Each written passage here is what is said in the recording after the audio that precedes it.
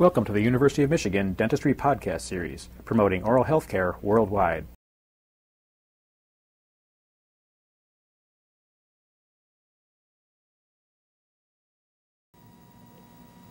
The midline is transferred to the maxillary wax occlusal rim with a sharp knife blade.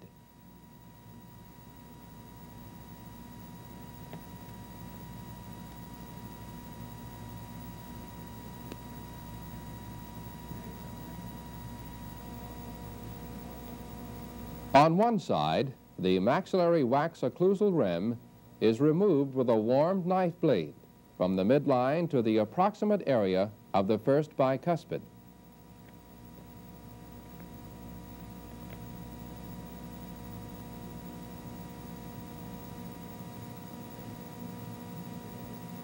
The remaining wax posterior to the bicuspid area maintains the occlusal vertical dimension when the incisal pin is raised.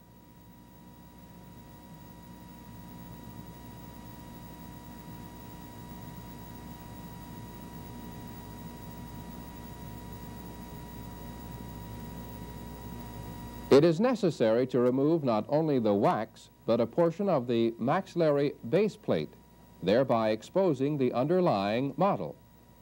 The labial lingual thickness of the supply tooth and the positioning of the central incisor in symmetry with the contour of the remaining occlusal rim creates this need. Small additions of molten wax are applied with the number 7 spatula to this previously exposed area. The maxillary central incisor is placed on the base plate of the anterior region of the residual ridge in contact with the established midline and then sealed with wax.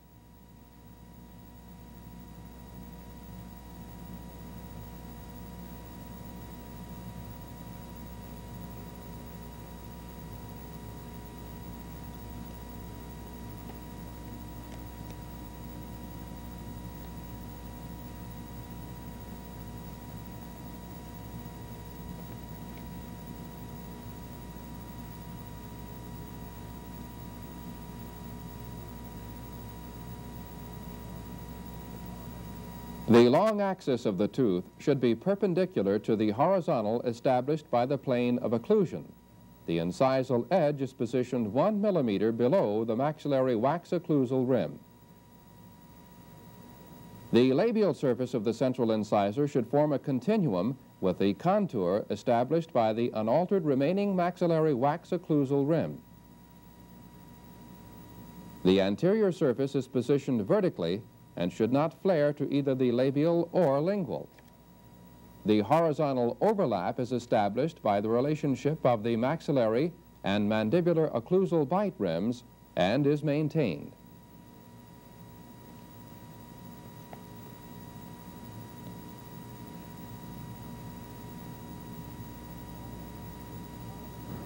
Following the application of the molten pink baseplate wax with the number 7 spatula, the maxillary lateral incisor is positioned next to the central incisor.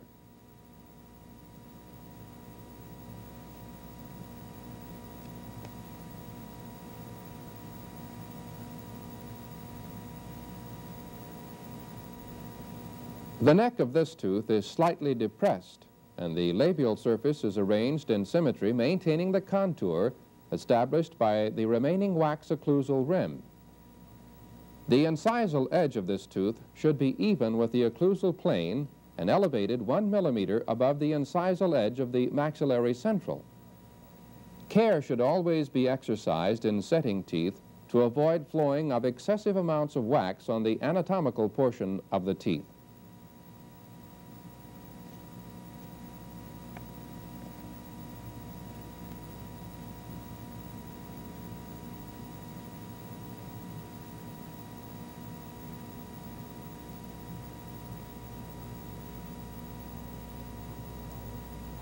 Following the proper arranging of this tooth, it is joined to the base plate by molten base plate wax.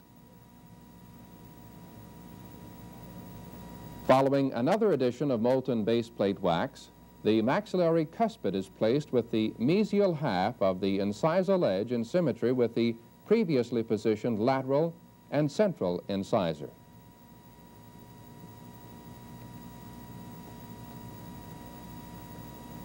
This will direct the distal half of the cuspid posteriorly along the residual ridges, providing a guide in setting the maxillary posterior teeth.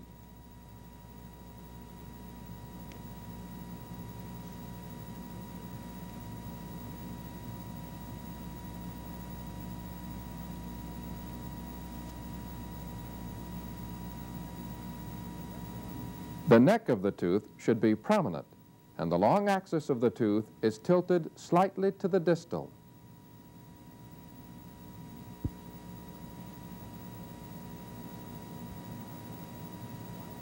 The incisal tip of the cuspid should be one millimeter below the occlusal plane. Following the positioning of the cuspid, it is sealed to the base plate with pink base plate wax.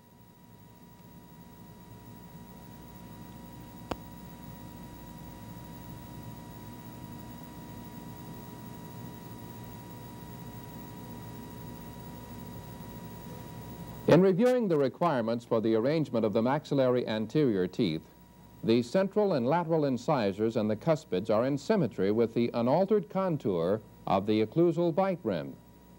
The neck of the cuspid is prominent with the labial surface vertical. The neck of the lateral incisor is depressed. The labial surface of the central incisor is vertical with the long axis perpendicular to the horizontal. The incisal edge of the central, as with the cuspid, is one millimeter below the occlusal plane. If these requirements have been satisfied, the teeth are sealed to the maxillary base plate in preparation for the arrangement of the mandibular anterior teeth.